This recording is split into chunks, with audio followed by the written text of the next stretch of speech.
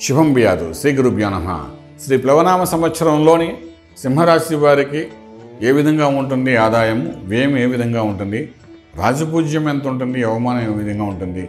ఈ విషయాలు తెలుసుకోవడం చేసే ప్రయత్నంలో మార్గంగా ఈరోజు ఈ వీడియో మనం చేస్తున్నాము.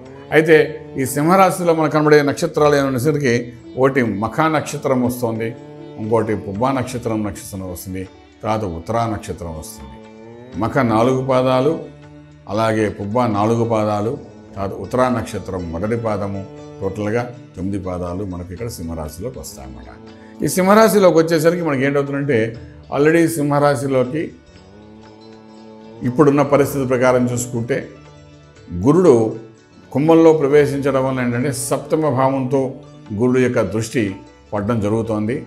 సస్యస్థానంలో మనకు శని ఎప్పుడూలాగా ఉంటాడు సంవత్సరం అంతా. అలాగే రాజ్యంలో రాహు ఉంటాడు. కానీ కుజుడు అన్నవాడు జూన్ నాలుగో తారీఖు నుండి జూలై ఇరవై రెండవ తారీఖు వరకు వ్యయ స్థానంలో నీచబడి ఉంటాడు ఖర్చు పెట్టే స్థలంలో విపరీతంగా కనబడతాడు. సో ఇదొక మార్గం ఇదొక ప్రభావము.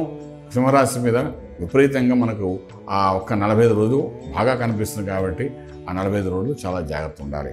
అయితే వీళ్ళకి ఆదాయం రెండు వ్యయం పద్నాలుగు అయింది. ఆదాయం రెండు వ్యయం పద్నాలుగు ఎందుకు జరిగింది అంటే అక్కడ కుజుడు యొక్క సంచారం వల్ల జరుగుతోంది. కర్కాటకంలో సంచరించే సమయంలో కొన్ని దోషాలు ఉన్నాయి కాబట్టి ధనం వల్ల ఒకటి జరుగుతోంది. అలాగే మనకేంటే గురుడు యొక్క సంచారం వల్ల కూడా కొంత నష్టాన్ని సవిచూడడం జరుగుతుందన్నమాట. అయితే ఇక్కడ ఏంటంటే గురు కుజుడు యొక్క యొక్క కలయిక వలన ఈ సింహరాశి వారికి ఇటువంటి నష్టం జరుగుతోంది. అలాగే వాళ్ళకి రాజపూజ్యం రెండు అవమానం రెండు అది మాత్రం సమతుల్యంగా మనకి కనిపిస్తున్నాయి.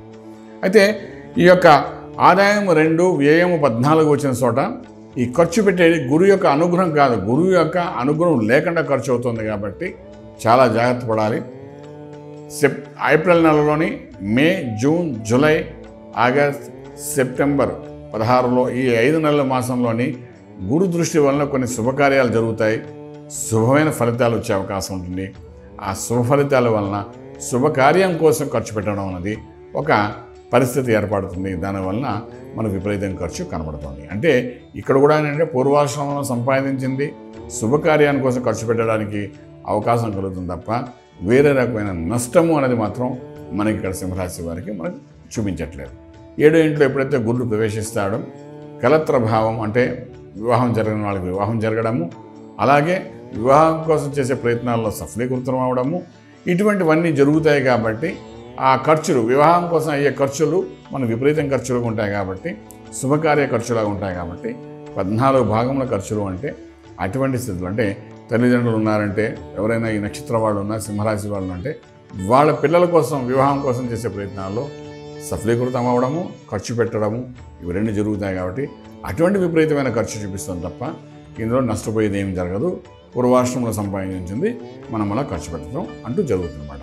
రెండవది రాజపూజ్యం అవమానం రెండు సమతుల్యంగా ఉన్నాయి కాబట్టి ఇది పూర్తిగా గురువు అనుగ్రహం రెండు సమతుల్యం ఉన్నాయి.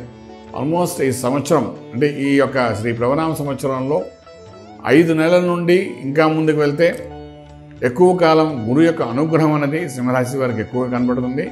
ఎందుకంటే మళ్ళా నవంబర్ ఇరవయో తారీఖు నుండి సంవత్సరం ఎండింగ్ వరకు కూడా గురుడు సప్తమ భావంలోనే ఉంటాడు.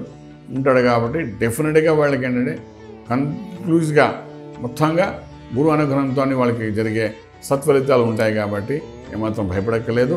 వీరు చూసుకోవాల్సినంత ఈ కుజుడు యొక్క సంచారం వల్ల జరిగే నష్టాన్ని భర్తీ చేసుకోవడమే చేసిన పని.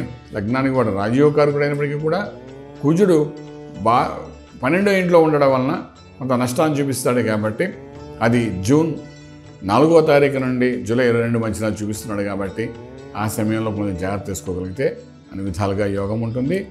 ఇటువంటి పరిస్థితుల్లోని సింహరాశి వారు చేయవలసిన మొట్టమొదటి కార్యం ఏంటంటే గురువు యొక్క మంత్ర సాధన చేయడము దక్షిణామూర్తి మంత్ర సాధన చేయడం అటువంటి ఉదయం చేసుకుంటూ ముందుకెళ్తే డెఫినెట్గా ఈ సమస్య నుండి బయటపడ్డాము. సంవత్సరం అంతా ఆ గురువు యొక్క అనుగ్రహంతో సన్మార్గ సత్ఫలితం తోని రాజమార్గంలో రాజ్యోగం పొందడానికి అవకాశం ఉందని చెప్పగలం శుభం బియాదు పూర్తి వివరాలకు సంప్రదించండి. శ్రీ వేదమాత గాయత్రి జ్యోతిష్యాలయం. Brahma Srimantha Suryanarayana Sharma. Srinilayam first floor one naught one. Sai Vaibhav layout Chitrapuri colony Khajaguda Hyderabad five lakhs eight. సంప్రదించవలసిన phone numbers triple eight triple five nine one four seven. Triple eight triple five nine one four eight. Nine eight four triple nine six triple four.